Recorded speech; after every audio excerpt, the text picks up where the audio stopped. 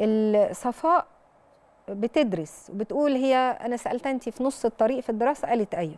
هي شعره دلوقتي إنها مش موفقة في مجال الدراسة وعايزة تسيبه. طب لو انت مش موفقة يا صفاء توصلي لنص الطريق؟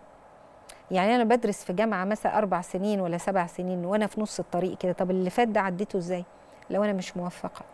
فأنا أنصحك يا صفاء تسيبي الأفكار السلبية دي وما دمتي يعني دمتي بدأتي هذا الطريق أكمليه. والنبي عليه الصلاة والسلام علمنا ومن يتحرى الخير يعطى. فأنت عايزة الخير من وراء هذا العلم. وإنما العلم بالتعلم. النبي عليه الصلاة والسلام علمنا كده.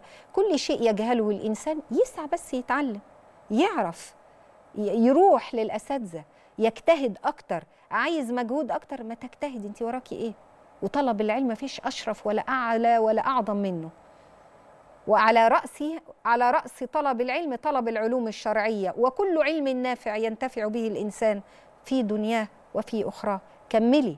إنما العلم بالتعلم روحي اتعلمي واعرفي اللي انت مش عارفاه ولما تبذلي مجهود كده وتتعبي فيه تحسي بحلاوة إنك حققتي النجاح فيه. مش شايفة ابدا تسيبي الجامعة بتاعتك ودايما عليكي بالمعوذات والأذكار في الصباح والمساء يا صاحبة السؤال وأسأل الله لك المعونة وأسأل الله سبحانه وتعالى لك الصحبه الصالحه هل معنا وقت التقوى طيب تقوى إن شاء الله في الأسبوع المقبل نجاوب على السؤال بتاعك ومولاي صلي وسلم دائما ابدا على حبيبك خير الخلق كلهم.